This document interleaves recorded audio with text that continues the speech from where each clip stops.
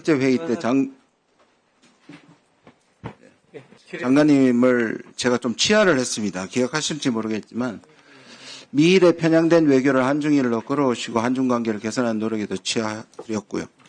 그 다음에 여러분들이 지적하셨지만 2015년에 장관께서 군함도에 대한 그 부분에 대해도 치하를 하고 싶고 그 다음 외교부도 이 사도광산에 대해서 이 지금까지 이 강제동원 이 부분에 대해서 항의 성명까지 냈던 부분을 치하하는데 갑자기 저는 외교부가 쪼그라들었다고 생각합니다. 그 이유는 여러분들이 여러 의원들이 지적하신 뭐 용산의 기업 개입 저도 뭐 증거가 없지만 추론을 합니다. 근데 오늘 장관님의 답변을 보고 좀 실망인데요.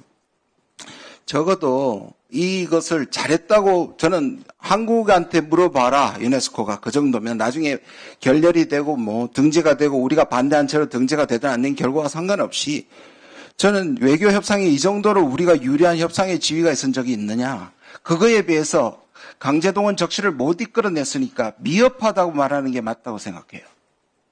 그러면 이걸 미흡해서 죄송하다. 앞으로 차후에 보완을 하겠다는 것이 훨씬 더 어떻게 생각하세요? 하도 비판을 하시니까 제가 제 입장을 말씀드린 것이 제가 자랑하는 건 아닙니다. 그래서 저는 생각에 이게 용산에 압력이 있으니까 예, 속으로는 화가 나도 이 부분에 대해 어쩔 수 없이 따라가는 것에 대해서 저는 인간적인 연민은 느껴집니다만 그럼에도 불구하고 그렇게 동의하기 어렵습니다. 예, 좀 보시겠습니다. 한번 장관님, 아, 그 전에 김영재 팀장 지금 나와 계십니까? 네. 예, 누구십니까? 외교부 직원입니다. 예, 근데 본인은 음, 경제 관료이고 워싱턴에 계셨고 유네스코와 무슨 관계에서 갑자기 유네스코 TF 팀장이 되셨습니까? 장관님이 추천하셨습니까? 제가 발탁했습니다. 그럼 어떤 이유입니까? 이분이 우리가 납득할 만한 어떤 여기에 협상의 귀재라든지 협상을 지금 잘하는- 분야가 완전히 다르 협상을 잘하는 동료로 기억을 해서 제가 발탁을 했습니다. 김영재 팀장님 사도광산에 한 번이라도 출장 가셨습니까? 왜 안 가셨습니까? 저는 3월에 맡은 이후로 계속 협상을 해왔고 협상을 하는데 사- 현장을 모르고 협상합니까? 현장을 가본 직원들을 데리고 있습니다. 그럴까요? 볼까요? 현장이 어떤지? 장관님. 한자 테스트가 이거 뭡니까? 전시라고. 예. 일본말로 어떻게 읽죠? 저는 일본말을 잘 모릅니다. 아, 그렇습니까? 근데 외, 외교부는 계속 사용하고 있습니다. 다음, 다음 PPT. 자, 展示 museum이라고 외교부가 계속 얘기합니다. 근데 실제 명은 사도 금산 전시 자료관입니다. 다음. 보십시오. 자, 외교부가 지금 제 계속 얘기하고 는 보십시오. 사도광산 展示 museum. 展示 museum이라는 것이 있습니까? 장관님. 저도 그렇게 어, 보고를 받아서 있는 거로 알고 있습니다. 그런 것은 없습니다. 갱도 입구에 있다고. 김영재 팀장님, 있습니까? 여기 갱도 입구에 있는. 아닙니다. 박물관 아닙니다. 그런데 우린 지금 계속 그것이 마치 박물관인 것처럼 계속 얘기하고 있습니다. 넘겨, 넘어가십시오. 자, 외교부 포기 표결 한번 보십시오. 아까 논란이 되기도 했지만 모든 노동자를 한국인 노동자를 우리가 바꿔서 부릅니다. 뭐 그거는 맥락 속에서 아까 억울하다고 하셨고요. 그 다음에 텐지 뮤지엄이 아닙니다. 그 사도금산 갱도 앞에 있는 전시자료관이지 뮤지엄은 아닙니다. 그 다음에 세 번째 더 결정적입니다. 아이카와는 향토 박물관인데 우리 외교부가 영어 쓴 거 보십시오. 역사 박물관이래요. 이런 왜곡이 어디 있습니까, 이거? 그냥 향토 박물관이에요. 더 결정적인.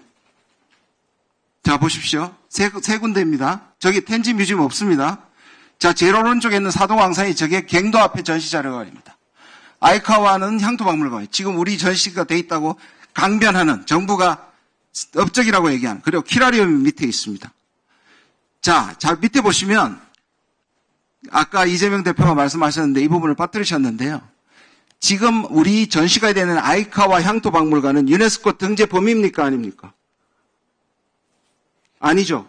기타 자와 지구를 아까 제가 드러낸 아니 아니요. 신청 범위에 저게 빠져 있습니다. 신청 범위는 저 두 가지만 들어간 신청 갱도하고 아닙니다. 신청법에 들어있는 기타 자와 지구를 이코모스에서 에도 시고- 시대와 관계가 없으니 드러내라 해서 빠진 겁니다. 등재 시설에 저 두 가지만 나와 있고 아이카와는 들어있지 않다는 말입니다. 넘어가십시다. 참 기가 막힌 일입니다. 등재 범위 바깥에 있는 데다 처박아 놓고 지금 이걸 업적이라고 얘기하고 있는 것에 저는 동의하지 못하겠습니다.